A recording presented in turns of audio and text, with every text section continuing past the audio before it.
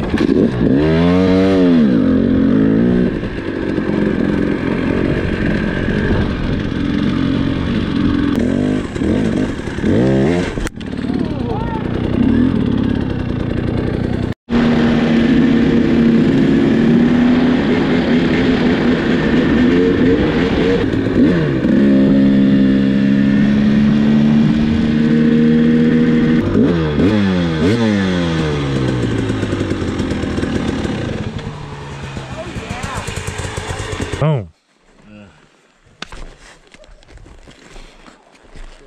45 and six hours.